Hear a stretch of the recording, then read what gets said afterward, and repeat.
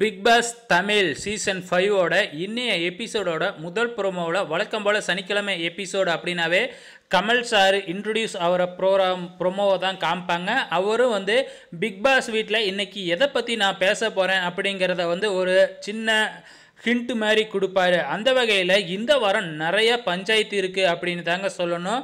டாஸ்கில் ஆரம்பித்து அதுக்கப்புறம் அவார்டு ஃபங்க்ஷன் அதுக்கப்புறம் கடைசியாக நடந்த அந்த நாற்பது நாள் ஆயும் இன்னும் யார் வந்து சேஃப் கேம் விளையாடுறாங்க முகத்துக்கு நேராக தன்னோட கருத்தை சொல்லாமல் இருக்கிறாங்க அப்படிங்கிறதுல இமான் அண்ணாச்சியும் ராஜீவியும் வீட்டில் இருக்கிற நிறையா பேர் சேர்ந்து சொன்னது வந்து பார்த்திங்கன்னா கண்டிப்பாக ஒரு பேசு பொருளாக இன்னைய எபிசோடு அப்படி இல்லைன்னா நாளைய எபிசோடில் கண்டிப்பாக வரும்.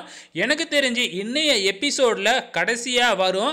ஸோ அப்போ வந்து பார்த்திங்கன்னா இதை சொல்லி மக்கள் என்ன சொல்கிறாங்க பார்க்கலாமா அப்படின்னு சொல்லிட்டு ராஜுவையும் இமான் அண்ணாச்சியும் இன்னைக்கு சேவ் பண்ணுவாங்க அப்படின்னு தான் எனக்கு தோணுது. ஸோ உங்களோட கருத்துக்களை மறக்காமல் இந்த வீடியோ கீழே கமெண்ட் பண்ணுங்கள் இன்னைக்கு இரண்டு பேரை சேவ் பண்ணுவாங்க.